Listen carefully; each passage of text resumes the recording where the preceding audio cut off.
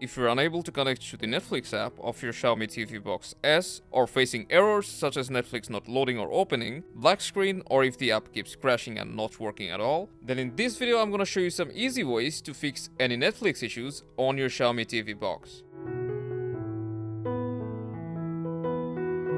If you have seen this pop-up already and went to the troubleshooting, such as cold booting your TV and checking your internet connection, but you're still facing issues with Netflix, then the next thing we'll do is go to the settings, then apps, select Netflix, and clear all its data.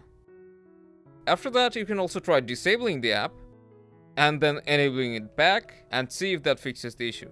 If Netflix still doesn't open or if it keeps crashing, then this may also be caused by low storage. So to check storage, we'll need to go to settings again, then system, then select storage, and see if you have enough storage to run your app. If you don't, then you can try installing the apps that you barely use and free up storage. After that, Netflix should start working normally. And that's how you fix Netflix issues on your Mi TV box. Hope this helped, stay tuned for more and I'll see you later.